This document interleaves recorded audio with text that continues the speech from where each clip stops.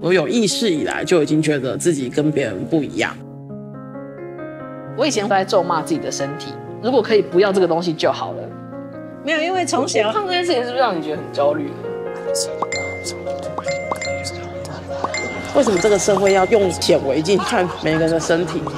每一则贴文都是在嘲笑你，你也很难不往心里去，因为他笑的就是照片上的我跟 Amy 两个人。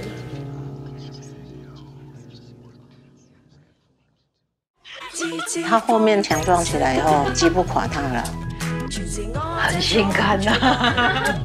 我们希望用我们自己的生命经验去跟大家讲，胖的人会有什么样的想法。胖是我的一个自我认同。阿姨公众号，难跨岁不跨散。